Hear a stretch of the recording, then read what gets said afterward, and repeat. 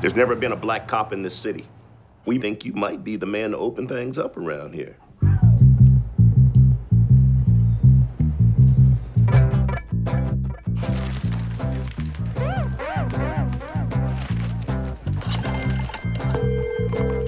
Hello, this is Ron Stallworth calling. Well, who am I speaking with? This is David Duke. Grand Wizard of the Ku Klux Klan. That David Duke?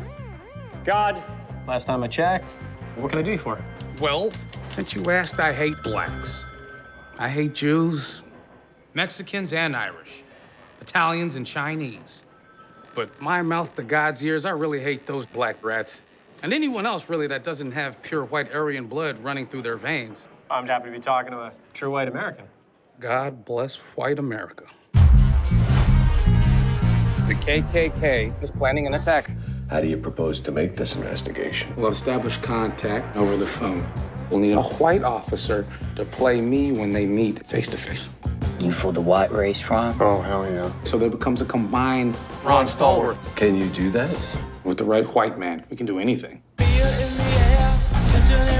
When's the last time they let a rookie lead an investigation? Oh, that's right. Never. okay, become his friend. Let's get invited back. So what kind of stuff you guys do? Cross burnings, marches. This is fixing to be a big year for us. You ask too many questions. You undercover or something? We must unite and organize to fight racism. Are you down for the liberation of black people? Power to the people. All power to all the people. All power to all the people. That's right, sister. For you, it's a crusade. For me, it's a job. You're Jewish. That hatred, doesn't that piss you off? You're taking this Jew lie detector test. Why are you acting like you ain't got skin in the game?